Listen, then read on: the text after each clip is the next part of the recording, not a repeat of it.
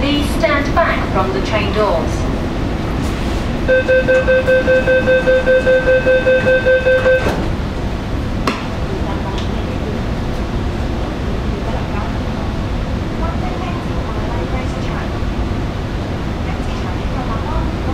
Xin cảm ơn phụ sầu. Xin giải phẫu phụ sầu. Please hold the handrail.